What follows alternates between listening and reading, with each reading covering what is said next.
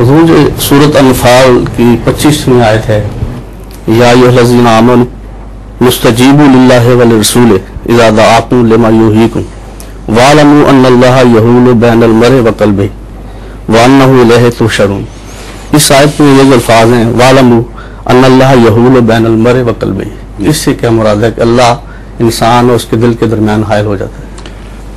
ये जो दिल है सर तो इसका फैसला होना चाहिए क्या है? दिल कुरान करीम में उस आखिरी फैसला कन ताकत को कहा जाता है जो दरअसल रूही का दूसरा नाम है। और वला ताम वला तामल कलूब, इस किस्म के जो अल्फाज आते हैं, आँखें दिन होती हैं दिल अंधे हो जाते हैं। और दूसरा भी या उनके दिलों पर तारे पड़े हुए हैं। हर जगह जहाँ भी कुरान करीम में दिल का मजमून बयान हुआ है, शाज के तौर पर ज़ाहरी दिल है। मगर दर हकीकत हर जगह आखिरी फैसला कन ताकत जिसको हम अपनी ईगो कह सकते हैं, अना कह सकते हैं, या अल्टीमेट कॉन्शियसनेस तो इस पहलू से इसका तर्जमा होगा। पहले ये बात समझनी चाहिए कि दिल क्या है। तो अल्लाह ताला यानी इंसान समझता है कि मेरे अपनी तमन्ना के फैसले और उनके अमल पैरा करने के दौरान दरमियान में कोई चीज़ भी रोक नहीं बन सकती। मैं जो चाहूँ, वही कर सकता हूँ।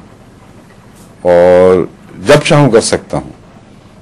ये एक मुबहम सा वहमा है इंसान के दिल में, जो हमेशा उसको धोखे में मुबतला रखता है। अल्लाह ताला ये बयान कर रहा है कि एक लम्हा के लिए भी तुम अपने ऊपर इख्तियार इस, इस पहलू से नहीं रखते। कि तुम्हारी हर आरज़ू हर तमन्ना हर ईगो जब चाहे तुम्हारे वजूद को अपने असर के नीचे ले ले।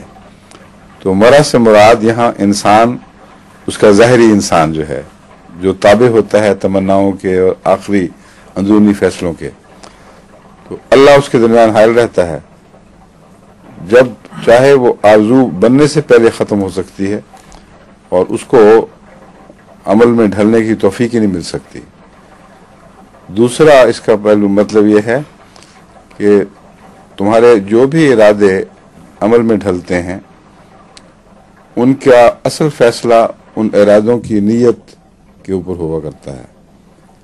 बाहर कितने खूबसूरत हों। इसलिए तुम दुनिया को तो धोखा दे सकते हो जो बीच में हायल नहीं है। लेकिन अल्लाह तुम्हारे इरादों और उनके अमल पैरा होने के दरमियान है और उस मॉनिटर, उससे मॉनिटर होके निकलते हैं सारे। इसलिए शक्ल कुछ भी बाद में ज़ाहिर हो, उसकी हकीकत से अल्लाह आशना रहता है। और भी हो सकते हैं माने, लेकिन जब दिल की आप सही तारीफ़ कर लें तो फिर ये बात खुल जाती है।